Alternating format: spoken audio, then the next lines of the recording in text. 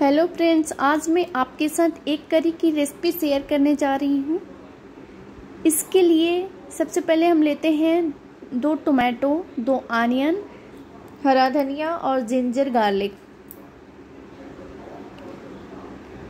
हमने कढ़ाई बिठा दिया, उसमें तेल डाल दिया है। आनियन को ऐसे स्लाइस में काट लेंगे जिंजर गार्लिक का पेस्ट बना लेंगे और टोमेटो का भी पेस्ट बना लेंगे।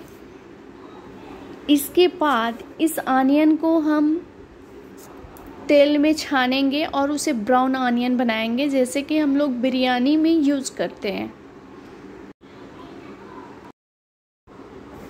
इधर हम मसाला ले लेते हैं, एक छोटा स्पून हल्दी पाउडर, एक छोटा स्पून जीरा पाउडर, दो छोटा स्पून धनिया पाउडर और दो छोटा स्पून लाल मिर्च पाउडर। वो कश्मीरी लाल मिर्च पाउडर आता है, वो लेंगे। इधर मेरा आनियन ब्राउन हो चुका है। इसे हम एक कटोरी में निकाल लेंगे।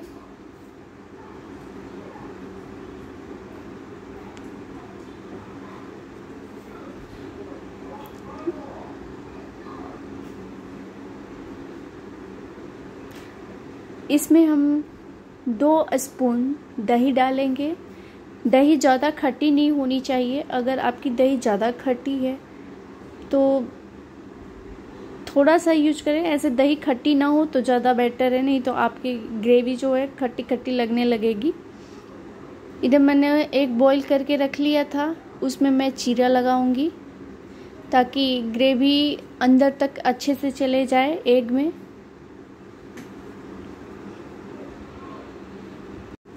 ऐसे ही मैंने सारे एग में जीरा लगा लिया है। अब मैं कढ़ाई बैठाऊँगी और अपना एक करी बनाना शुरू करूँगी।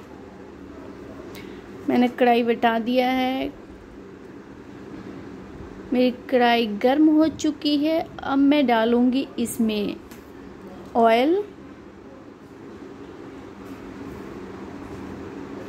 ऑयल भी गर्म हो चुका। अब इसमें हम छौंक डालेंगे। मैंने ऑयल डाला एक है। बड़ी इलायची दालचीनी थोड़ा सा जीरा दो लौंग और आप छोटी इलायची भी यूज़ कर सकते हैं। अभी मेरे पास नहीं गर्म है। होने देंगे। इसके बाद तेल में हम डालते हैं गार्लिक और जिंजर का पेस्ट और गैस का आँच एकदम डिम कर देंगे नहीं तो जिंजर गार्लिक के पेस्ट जलने का डर होता है।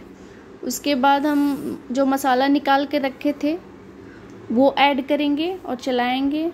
कुछ देर भुनने के बाद उसमें टोमेटो प्यूरी ऐड कर देंगे। टोमेटो प्यूरी उसके बाद हम नमक ऐड करते हैं और टोमेटो को दानेदार होने तक पकाएँगे। प्यूरी रेडी है। ये पक चुका है।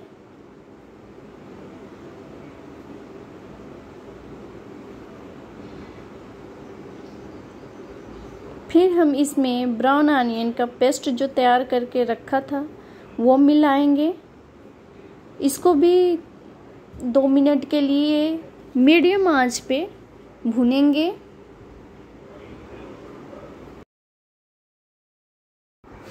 अब हमारी ग्रेवी पूरी तरह से पक चुकी है। अब इसमें हम वाटर मिलाएँगे। आपको जितना ग्रेवी को पतला रखना है, उसके अनुसार आप वाटर डाल सकते हैं। अपने टेस्ट के अनुसार मुझे थोड़ा सा गढ़ा ही रखना है, इसलिए मैं वाटर कम डालूँगी। इसमें एक बॉयल आने दूँगी। एक बॉयल आने के बाद उसमें एग मिला दूँगी। एग मैंने डाल दिया है। सॉरी मैंने एग को थोड़ा सा फ्राई किया था। वो क्लिप में डालना भूल गई हूँ।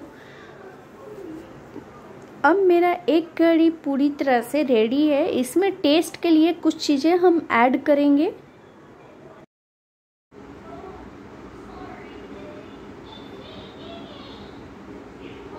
ये देखिए, मेरा एक करी बिल्कुल रेडी है। अब हम इसमें डालेंगे अमूल बटर और कस्तूरी मेथी को हल्का सा भून के इसमें क्रश करके डाल देंगे। और इसे हरा धनिया से और अमूल क्रीम से गार्निश करके सर्व करेंगे। ये बहुत यमी लगता है। आप इस रेसिपी को ट्राई करें।